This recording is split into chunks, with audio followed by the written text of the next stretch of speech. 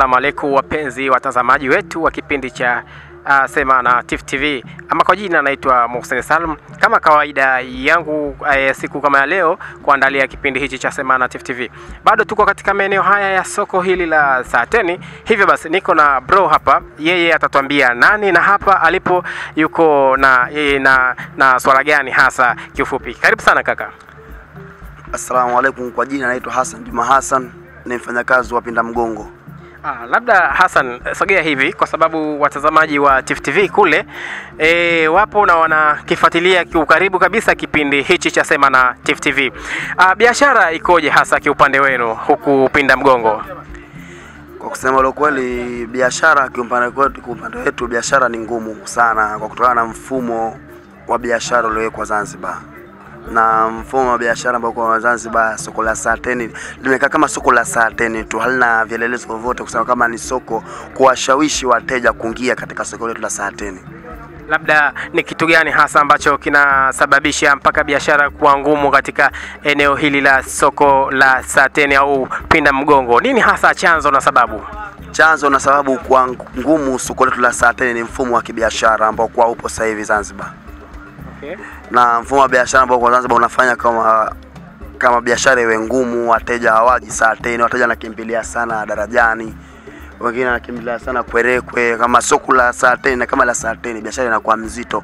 Labda kipindi kama cha Ramadhani ndo kidogo afadhali, lakini sio afadhali sana. Sasa tumezoea kama leo mwezi 23 kwa 22. Sasa kama hizi tayari tunafanya biashara vizuri, hamasa ipo, watu wanakuwa wingi, lakini tumekosa mfumo wa biashara sasa hivi Saateni. Hivi ina, ina kuna baadhi ya wafanyabiashara, kuna baadhi ya wafanyabiashara wanalalamikiwa kuongeza bei au bidhaa bidhaa zao kuongeza bei. Hili likoje? Na mara nyingi hupewa nyinyi mzigo kwamba mnaongeza bei kiholela holela, likoje hili? Amna, sikiza nikwambie, kama biashara wa kuongezeka bei, sisi wafanya biashara wadogo wadogo ni lazima tuongeze bei, kwa sababu kukutana na vile vitu ambavyo tumevichukua. Kama leo nakwenda kuchukua biashara zangu kama singlet, nitachukua singlet dazeni shilingi elfu kumi na nane naweza kuwa dazeni nikaambia shilingi elfu ishirini na wakati mimi natafuta japo chochote niendeleze mfumo wa maisha yangu pamoja na familia yangu na tukiwa kichukua singlet kama shilingi elfu kumi na nane nami nitajua niuze vipi ili nipate kufanikiwa katika mfumo wangu wa biashara. Labda tukikupa nafasi kidogo tu tuseme utoe maoni yako, kwa sababu kama nilivyokuambia mwanzo kwamba kipindi hichi kinafuatiliwa na watazamaji wengi wa Tifu TV. Hata hivyo, serikali ya mapinduzi ya Zanzibar, baadhi ya viongozi, hata mheshimiwa rais wa Zanzibar pia ukifuatilia kipindi hichi cha Sema na Tifu TV. Maoni yako ni maoni gani hasa? Watazamaji wanakusikiliza kwa makini na kutizama kwa makini sana. Mtazamo wangu kuhusu na mfumo wa biashara ni kuwekewa mazingira, maz, ma, mazingira mazuri wafanya biashara ili ipate kufanikiwa katika biashara zetu ambazo tulikuwa tunafanya. Ni kuwekwa kituo kizuri cha gari, yani ni kuwekwa mazingira mazuri ya biashara, kama mfumo wa watu kutoka shamba, kutoka mjini wanakuja maeneo ya Saateni. Samahani, ukiangalia soko letu la Saateni, iangalia hali iliyopo hapo mbele hapo ni sehemu ambapo kwa stendi ya gari, ni sehemu ambapo tunatafutia riski. Ikifika kipindi kama hicho, inakuwa ni matope, mashimo, maji yanakaa. Pia anashawishika mteja hawezi kuja Saateni kwa kutana na soko kwanza limejitenga hali na mchangamfu soko. Ni wateja tu wa baadhi tu kama makumbi kutoka mteja kutoka fuoni, sisi hatuwezi kuwapata bila mgongo, wachazi wako darajani, kwa sababu ni mfumo tu wa biashara Saateni bado Hii ni hali halisi jinsi kama kakaangu ama ndugu yangu anavyozungumza. Wapenzi watazamaji wetu wa kipindi hichi ni Sema na Tifu TV, na bado tuko na wananchi mbalimbali kwa ajili ya kusikiliza maoni yao kuhusu swala zima la biashara katika maeneo haya au soko hili la Saateni. Hapa niko na mzee, atatuambia yeye kwanza anaitwa nani. Mzee, karibu sana. Asante bwana Mr. Mudi. Eh? Eh bwana, a- a- kwa jina kwa jina watazamaji wetu kule wanafurahia na wanafuatilia sana kipindi hichi cha Sema na Tifu TV. Hem, jaribu kwanza kuitambulisha kiurefu kabisa, wewe ni nani na unaishi wapi, lakini vile vile hapa sokoni umekuja kwa miaba gani hasa? Karibu sana. Asante. Mimi kwa jina maarufu sana naitwa bwana Ali Haji Mwombwa. Mimi napatikana maeneo ya Mpendae. Ehe.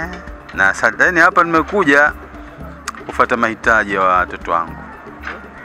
Ya watoto wangu kwa sababu unajua hapo mbele tuna suku na hawa watoto nitakiwa kidogo tuwafurahishe na wao.